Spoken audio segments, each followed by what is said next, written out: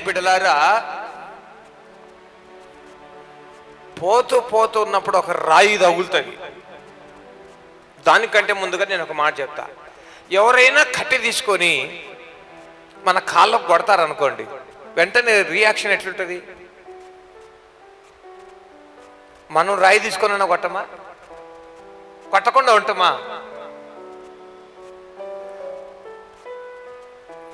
కొడతాం వెంటనే. అసలు ఆలోచన చేయం. అదే గనుక నడిచేటప్పుడు బోట్రాయి కొట్టుకుంది అనుకోండి కాలుకి. అదే నొప్పే. వాడు కర్ర తీసుకొని కొట్టిన నొప్పే. బోట్రాయి రాయి మన కాలికి తగిలినప్పుడు భయంకర నొప్పి. అబ్బా అని పట్టుకుంటాం. అప్పుడే ఎవరిని కొట్టాలా?